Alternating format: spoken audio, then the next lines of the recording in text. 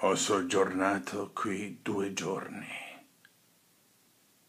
Qui ha soggiornato l'aperta nudità dei miei desideri inappagati.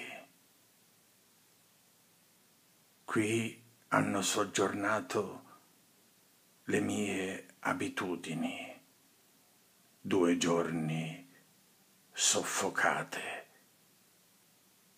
ed io ho sofferto con loro. Qui non c'è stato nulla. Qui non mi è successo niente.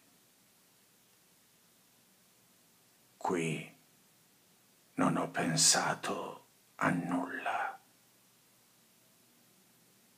Sono stato solo il corpo, senza nicotina sufficiente, senza caffeina.